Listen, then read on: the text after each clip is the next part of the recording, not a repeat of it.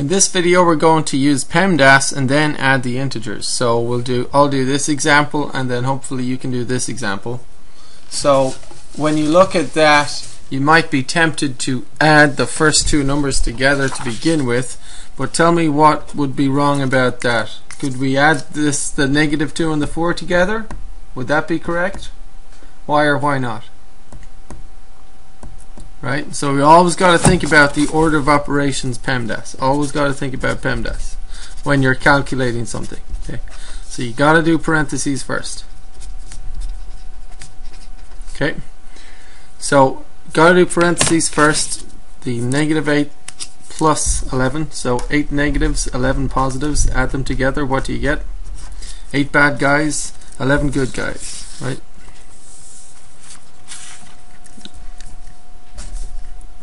So just add these together and put it in the parenthesis, right?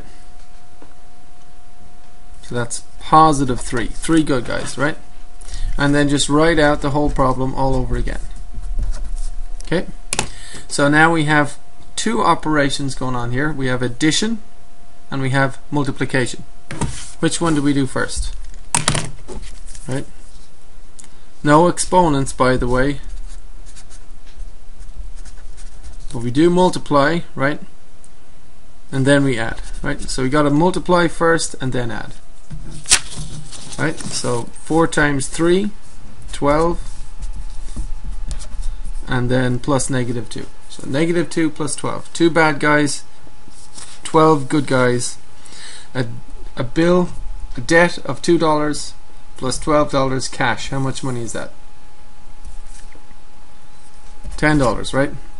Always make sure you don't use a calculator. Waste the time to, to do this with a calculator. You might as well not do it at all. Okay, press pause and try this one yourself and then I'll do it.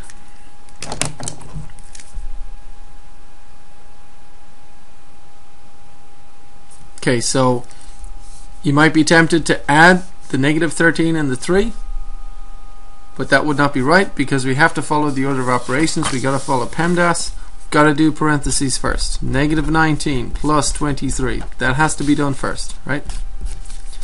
So it's a neg a debt of $19 and $23 cash. Put it together and you have $4 cash, right?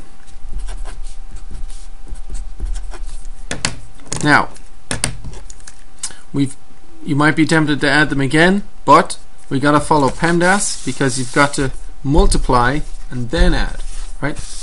4 times 3, 12. Negative 13 plus 12. 13 negatives and 12 positives. Put them together, what do you get? 13 bad guys and 12 good guys. One bad guy, right?